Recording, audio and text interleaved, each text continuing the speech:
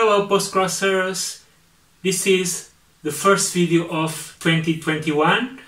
I hope you have a very uh, happy new year and since I think before Christmas I haven't received any official postcard but I received some uh, surprise postcards sent by some friends and this video is for showing you these postcards I received.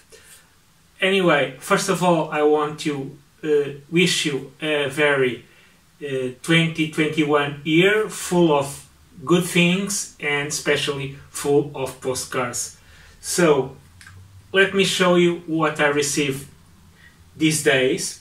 And the first one, it's this one uh, cityscape from Leipzig.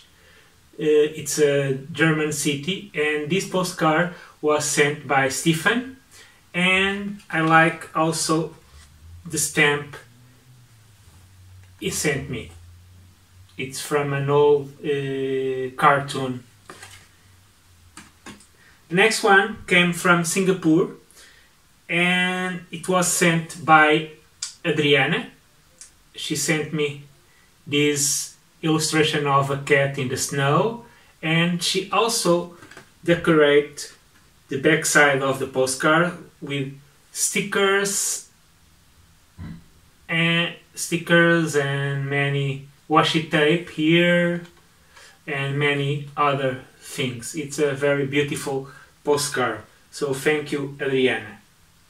And the last three came from a friend of mine she lives in Portugal, in Viseu, and she sent me these three postcards. The first one is a donkey. The next one is this uh, carnival mask from a traditional uh, city in Portugal, Bragança. They call them caretos, it's the name of this mask and this um, this kind of dress. Um, and, and the last one, it's from her city. It's a city view from an important church from her city. This is and it is and here Viseu is the name of the city where she lives. So this was my five postcards I received during these holidays.